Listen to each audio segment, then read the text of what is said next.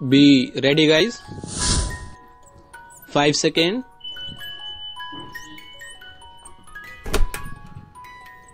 Start.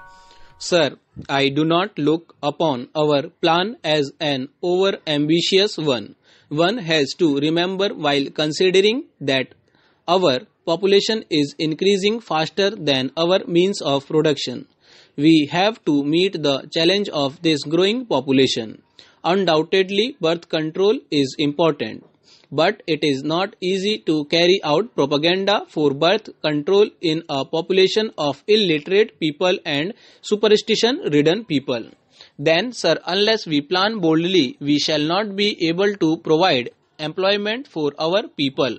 We have to be uh, in mind that it is essential to provide employment for our increasing population. Even with the plan carried out, the unemployment figure will stand high and the question to be considered is whether more attention should not be placed upon our small scale and medium sized industries. Is it not possible for us to ensure that all sections of the population get the benefit of the plan? After 10 successful plans, a few industrialists despite our heavy taxation, own nearly 75% of the total capital of our public companies.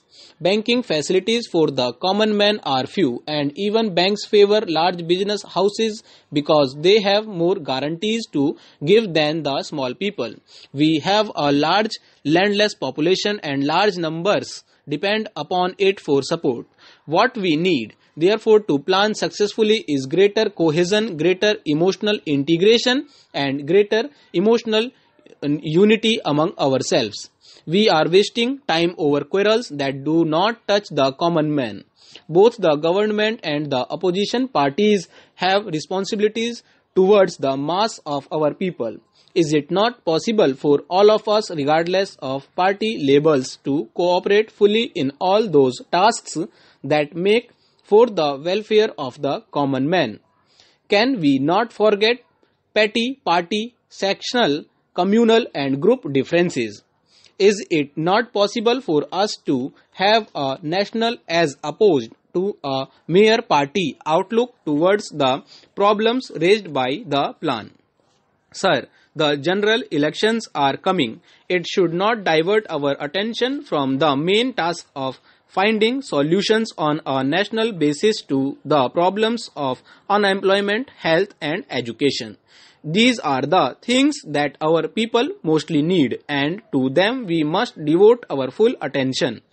The second thing that I would like to emphasize is that enough our national income has increased by 42%. We do not exactly know how it has been distributed. It is not enough to say that the per capita income has increased. The right question that has to be answered by us is whether it has increased in terms of real income. For that, we have to see whether the price level has kept pace with the wage level. It is no satisfaction to a man that this nominal income has gone up, though at the same time the price level has reduced. His purchasing power not only for luxury articles but for articles of common consumption. Concessions have been made to industrialists. Perhaps it was inevitable that they should be made. We had to provide incentives for capital formation, but the budget, even after the reliefs given, which I gratefully acknowledge, will I apprehend increase the burden of the common man. The middle classes are the backbone of the community. There is dissatisfaction among them because of the rising prices. It is essential that in a mixed economy such as ours, the state should evolve a machinery of adequate price control.